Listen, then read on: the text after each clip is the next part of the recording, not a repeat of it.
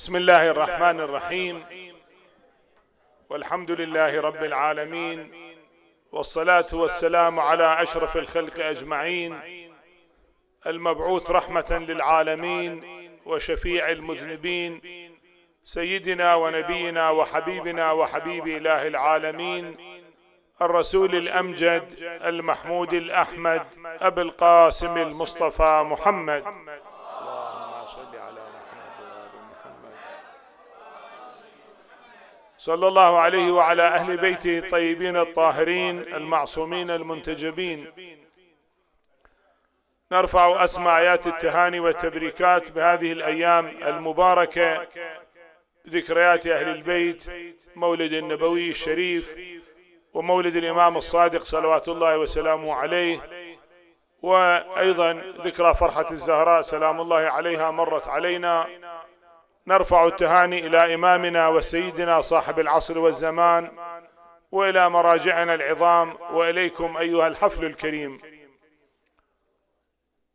في الواقع يصعب أن أتحدث بشيء خلال دقائق معدودة عن رسول الإنسانية وسيد الكائنات الذي مدحه الله سبحانه وتعالى في قرآنه العظيم وجعله رحمة للعالمين. العالمين كما تعلمون في اللغة العربية جمع وليس عالمين يعني مو عالم الجن والإنس فقط بل جمع عوالم ثلاثة فما فوق. بمعنى أنه كل العوالم التي خلقها الله سبحانه وتعالى فهو رحمة لها. والله سبحانه وتعالى خلق عوالم مادية وعوالم غير مادية كالملائكة وغيرها على أقوال مختلفة بالإضافة إلى عالم الجن والإنس المعروف. فكل هذه العوالم حتى العوالم المادية حتى الكواكب والنجوم والسماوات والأراضين كلها وجود النبي صلى الله عليه وآله وسلم رحمة لها. فكم وجوده عظيم ومهم لكل الأكوان. لذلك لا نعجب إذا نقرأ في يوم ولادته أن تسقط الأصنام أو تخمد نار فارس أو تسقط بعض الشرفات أو يغير ماء ساوى وغير ذلك من كرامات. ولا نعجب إذا كانت حليمة السعدية تقول كانت منطقتنا مجدبة وببركة النبي صلى الله عليه وآله آه، أجلب آه، أخصبت الأرض وصارت خضراء ومعشوشبة هذا لا نعجب منه. كذلك أبو طالب رضوان الله تعالى عليه كان هو كفيل النبي صلى الله عليه وآله وكان يمنع أولاده من أن يأكلوا إلا أن يحضر النبي معهم. أحيانا يتأخر النبي في شغله والأولاد يحتاجون إلى الطعام فيقال له أنه لما لا تعطي الطعام للأولاد إلى أن يأتي النبي أزل طعام انطي بعدين. يقول لا أنا إذا أعطيتهم الطعام يقومون وهم جياع ما مكتفين ما يكفيهم الأكل. ولكن لو كان محمد صلى الله عليه وآله وسلم معهم يقومون وهم مكتفون. إذا وجوده في مائدة واحدة في هذه البركة وهذا الخير. ومن جملة كراماته المظلل بالغمامة حينما كان يسير في سفر إلى الشام وكانت تظلله الغمامة وهي ظاهرة لم تعرف ومنها ميسر ذكر إلى خديجة هذه هذا المعنى. منها أبو طالب رضوان الله تعالى عليه التفت إلى هذا المعنى. الراهب رأى أن هذه الغمامة لا تفارق هذا الشاب وكان عمره 12 سنة في الرحلة الأولى إلى الشام. وتاريخ يذكر كثير من الكرامات يعني مفصلة لا مجال لذكرها. وادي فاض من الماء وكيف أنقذهم النبي في الصعوبات بالمفاوز والصحاري كم من المشاكل مروا بها وأنقذهم النبي. في التجارة كيف النبي علمهم في البيع وكانت تجارتهم رابحة. تفاصيل كثيرة. قل لا نعجب إذا كان هو رحمة للعالمين جميعا. ولا عجب لأنه سيد الكائنات. إذا كان الإنسان هو أفضل الموجودات لما له من العقل. طبعا الإنسان المؤمن هو أفضل ولا ما غير المؤمن خب أخس من الحيوان. وأفضل المؤمنين بالنتيجة الأنبياء والرسل وأفضل الأنبياء والرسل سيدنا محمد رسول الله. اللهم صل على محمد وآل محمد. بالرغم من كل ما تحمل من أذى وألم من قريش ومن المنافقين وأظن أذاه من المنافقين إن لم يزيد على أذاه من قريش ليس أقل من ذلك. مع ذلك لم يدعو على قومه أبدا وإنما كان قوله دائما اللهم اهد قومي فإنهم لا يعلمون.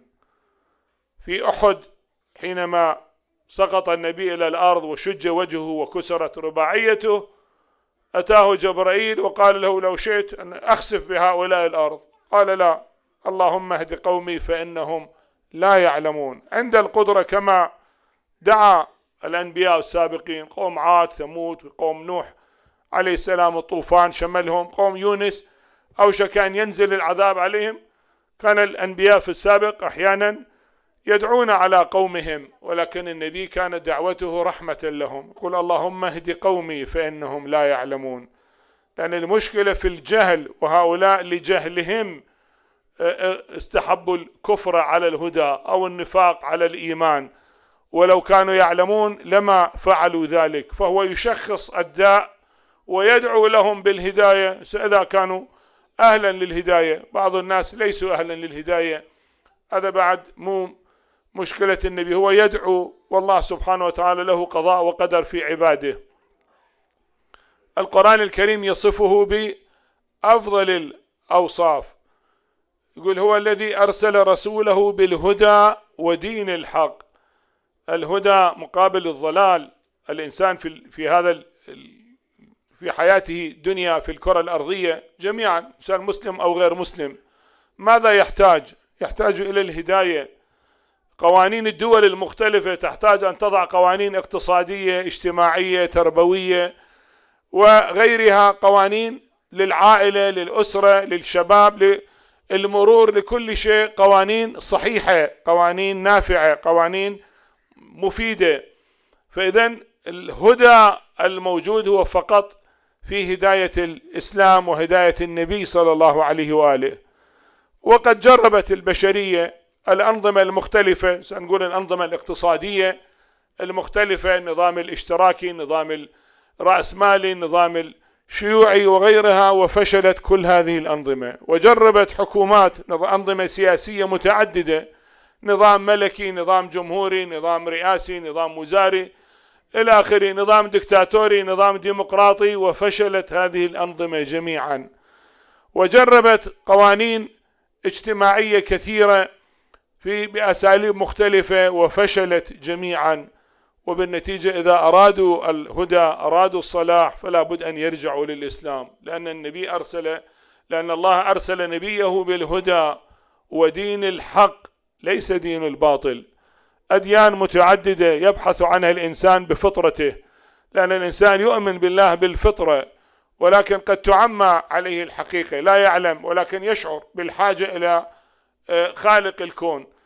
وكما نعلم في أمريكا حوالي خمسة آلاف كلت كلت من يعني الأديان التي لها أتباع دون العشرين ألف. خمسة آلاف دين جديد. هؤلاء يبحثون بالرغم أن أصولهم مسيحية ولكنهم تركوا المسيحية وضاعوا وتاهوا ويبحثون عن كل مدع للنبوة فيتبعونه. ونقرأ قصص كثيرة بعضهم يقول بيوم القيامة يحدث فلان يوم أو مشاكل وبعضهم سموا بعضهم أحرقوا إلى آخره من مشاكل تحدث. لماذا هؤلاء يبحثون؟ لأنه يبحثون عن شيء فطري موجود عندهم ولكنهم أخطأوا الطريق. لم يأتوا إلى دين الحق ولو جاءوا للإسلام لوصلوا إلى دين الحق. ربما جزء منهم تقصير من عندهم لأنهم لم يقرأوا ولم يتبعوا الإسلام. وربما هناك تقصير آخر من عندنا لأننا لم نبشر ونبلغ ونعرض الإسلام بشكل صحيح إلى العالم. العالم يرى صورة مشوهة للإسلام في إعلامه ولا يرى الصورة الصحيحة الحقيقية للإسلام. لا يرى عدل الإسلام ولا سماحة الإسلام ولا الفضائل والكمالات الموجودة في الإسلام ولا السيرة العطرة لنبي الإسلام حتى أعداؤه كانوا يعجبون به ويحبونه من من بعيد وإن كانوا يكابرون ويحسدونه على دينه وما أعطاه الله ولكنه في باطنهم يحترمونه. هذه الصورة المشرقة لنبينا صلى الله عليه وآله وسلم لا يظهرها الإعلام ولا يريد أن يظهرها لأنه لو أظهرها لتعلق الناس بالإسلام. كلهم جاءوا للإسلام لأن الناس تبحث عن مثل هذه القيم وعن مثل هذه الكمالات. أول دولة أسست في مجتمع جاهلي مجتمع قبلي مجتمع اللي هو وعد البنات شأنه والقتل وسفك الدماء والغارة على الآخرين ويفتخر بأنه غارة وبطل يقتل عشرات مئات آلاف ويسبي النساء وغيره. هذا فخره يبني خلال سنين قليلة مجتمعا من أفضل المجتمعات البشرية. يعني يمكن أن يقال في أسوأ تجربة يعني أسوأ مجتمع بنى أحسن مجتمع خلال فترة قصيرة.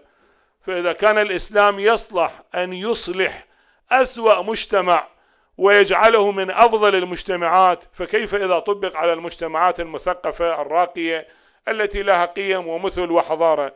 طبعا ينفعها وممكن أن يغير واقعها إلى أحسن واقع.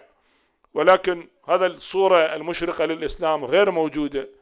المعاهدة التي كتبها النبي صلى الله عليه وآله وسلم في المدينة ما زالت نظاما عاما للتعايش بين الأديان وبين المواطنين من آه، أديان ومذاهب مختلفة. معاهدة بين اليهود والنصارى والمسلمين الموجودين وكيفية التعامل معهم. الصلح الذي أجراه النبي صلى الله عليه وآله وسلم مع قريش بعد صلح الحديبية والأحلاف التي صارت. هو التزم ببنود الصلح بالرغم من أنه بعض بنوده كانت تبدو آه، مثلا جائرة بحق المسلمين حتى بعض المسلمين اعترضوا لم يفهموا مغزى الصلح. لأنه فيه إذا أحد المسلمين ذهب إلى قريش قريش لا يرجعونه للنبي. ولكن إذا أحد المشركين جاء إلى النبي فالنبي يرجعه إلى قريش لا يبقيه. فيقول كيف؟ أنه إذا واحد من عندنا راح والمفروض إحنا نستطيع أن نسترجع قريش ترجعوا لنا. ولكن النبي صلى الله عليه وآله كان ينظر أبعد من هذا. يقول هذا الذي أسلم وجاء إلى النبي نبي أحدهم كان هكذا قال لو أنت اذهب خارج المدينة ما, ما نستطيع أن نؤويك لأنه عندنا عهد مع قريش. ولكن الله يفتح عليك. هو راح في الجبال وأخذ يغير على قبائل قريش بما آذوه. غيره إلى أن توسلت قريش بالنبي أن اقبله ولنتخلص من آه، أذاه الذي يلحقه بقوافلنا. أما إذا مسلم ارتد فماذا يفعل به النبي؟ يعني لو مسلم ارتد وذهب إلى قريش فلماذا يريد النبي أن يرجعه؟ هو لا يريد الحق ليبقى على الباطل. لم طبعا يدرك بعض المسلمين المغزى والعمق ولكن بعد ذلك في أيام قليلة نرى أن قريش كسرت العهد ولم تفي به. والمسلمون تعبيرنا مجمورين يعني قلوبهم ملأى بالأذى والألم من قريش بيوتهم صادرتها قريش. حروب آه، كثيرة مرت قتلى وشهداء كثيرين عند المسلمين بسبب قريش وخيلائها وغلوائها ومع ذلك يأتي النبي صلى الله عليه وآله وسلم بجيش قوامه عشرة آلاف ويحتل مكة وتستسلم مكة ولكن لم يسفك قطرة دم واحدة. كان ممكن أن يثأروا بعض الصحابة قالوا اليوم يوم الملحمة اليوم تسبى الحرمة. هذا اليوم يوم الانتقام. صار لنا سنين طويلة نحن نعاني من قريش ونحتاج إلى أن لأنفسنا. النبي صلى الله عليه وسلم يأمر لا بدلوا الشعار قل اليوم يوم المرحمة اليوم تصان الحرمة. لم نأتي للظلم والجور. ولذلك حينما جمع قريش قال ما تظنون أني فاعل بكم؟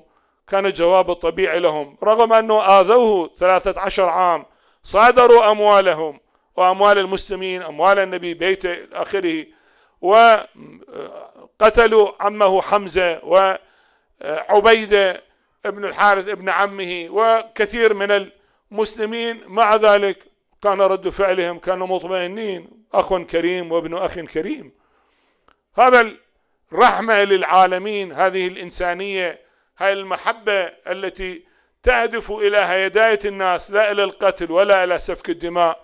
هذه الصورة المشرقة لم يعرضها الإعلام مع الأسف. يمر بعض المسلمين بعد واقعة خيبر بالنساء اليهوديات على قتلاهن فيبكين بعد أن رأوا جثث القتلى. النبي يزجرهم يقول نزعت الرحمة من قلوبكم؟ كيف تمرون بالنساء على الجثث القتلى؟ ينهرهم ولا يرضى وإن كانوا معادين له وقاتلوه وخانوا العهد الذي كان آه، بينهم وبينه وساعدوا قريش في آه، قضية الأحزاب. مع ذلك النبي يقول هؤلاء النساء لا ذنب لهن لماذا؟ تمر بالنساء على قتلاهن ويصيبهن شيء من الأذى والألم. وهذه الصورة المشرقة نقارنها بصورة بني أمية والإسلام الأموي هو الذي شايع بما فعلوه في كربلاء.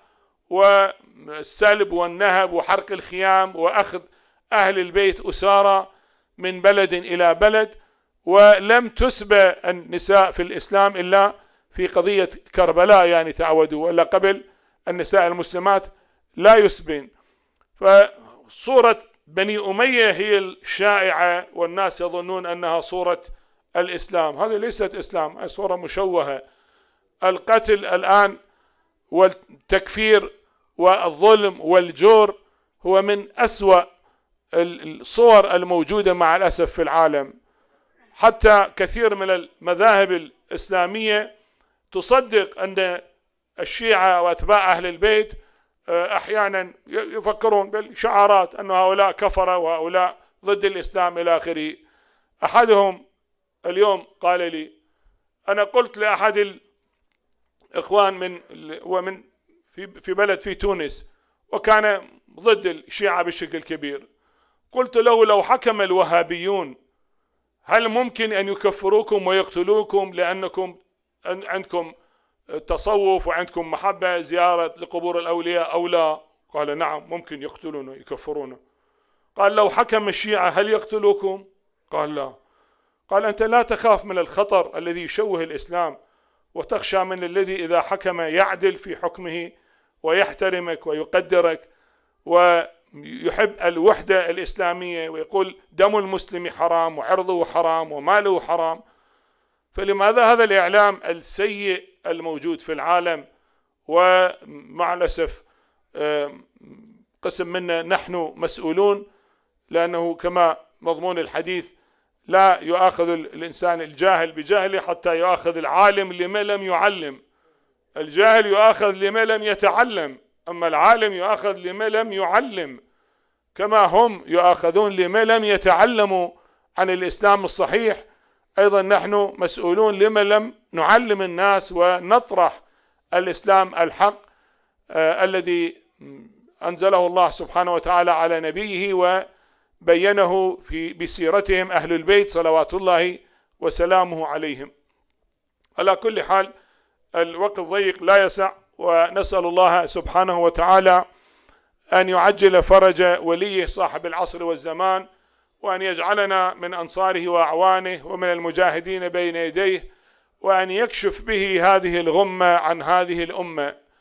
اللهم اغض بمحمد نبيك وأهل بيته الطيبين الطاهرين حوائجنا واشف بهم مرضانا وارحم بهم موتانا واغفر بهم ذنوبنا ووسع بهم أرزاقنا وبارك بهم لنا في ديننا ودنيانا وآخرتنا ولا تسلط علينا من لا يرحمنا. اللهم احفظ شبابنا وبناتنا من شر السلطان وشر الشيطان وطوارق الزمان. اللهم من أرادنا بسوء فأرده ومن كادنا فكد اللهم ادفع عنا شر الأشرار وكيد الفجار وطوارق الليل والنهار. اللهم صل على محمد وآل محمد. اللهم كما جمعتنا ووفقتنا أن نجتمع في هذا المجلس على حب محمد وآل محمد. فارزقنا يوم القيامة شفاعتهم وعلى الصراط مرافقتهم وفي الجنة معهم على سرر متقابلين مع الشهداء والصالحين. وحسن أولئك رفيقا. والحمد لله رب العالمين وصلى الله على محمد وآله الطاهرين.